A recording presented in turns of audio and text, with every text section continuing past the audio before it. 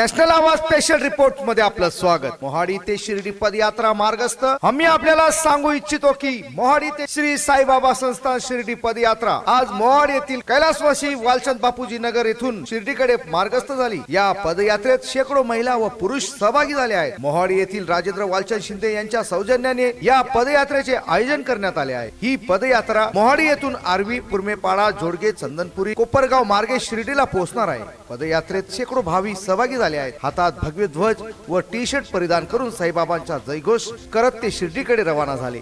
भाविकांच्या गर्दीमुळे रस्त्याला यात्रेचे स्वरूप आले होते. ब्युरो रिपोर्ट नॅशनल आवाज.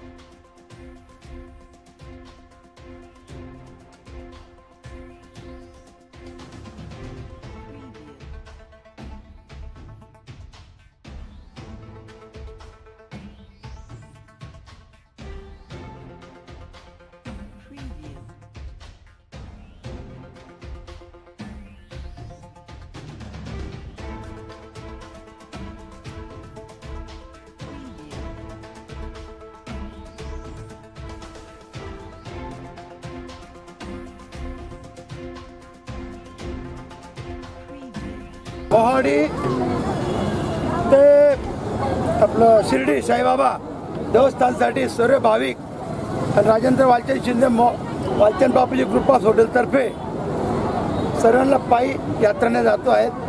सर्वांची व्यवस्था टी शर्ट रुमाल काजू बदाम त्यानंतर सर्वांचं दोन टाईम बा लेडीज ज्या लेडीजांसाठी सनकोट सर्वांसाठी कपडे आहेत. आणि सर्वांची यात्रा आम्हाला पार पाडायची आहे. आणि सर्वांना तिथं जाऊन अजून तक्षणा द्यायची माझ्याकडून वालचंद बापूजी गुप्तर्फे साधारणतः किती दिवस?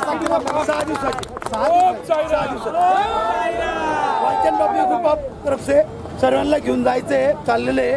आणि भगवंत या भाऊ सर सर्वांना स- स- ते जाऊ ना.